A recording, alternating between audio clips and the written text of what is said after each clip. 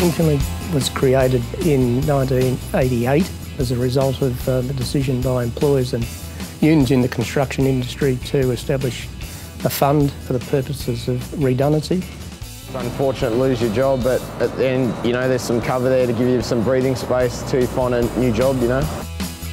Over the years, Incolink has grown um, in terms of its business, particularly in funds administration, and uh, as a result, it's now regarded, in my view, as the leading administrator of employee funds.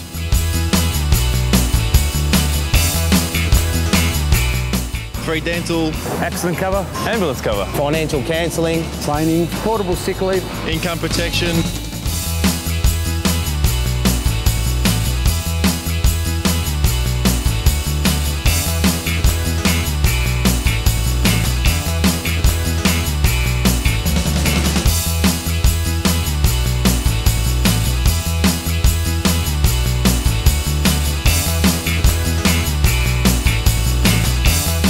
It is great that there is a body that provides um, the service for the workers in this industry, in the construction industry.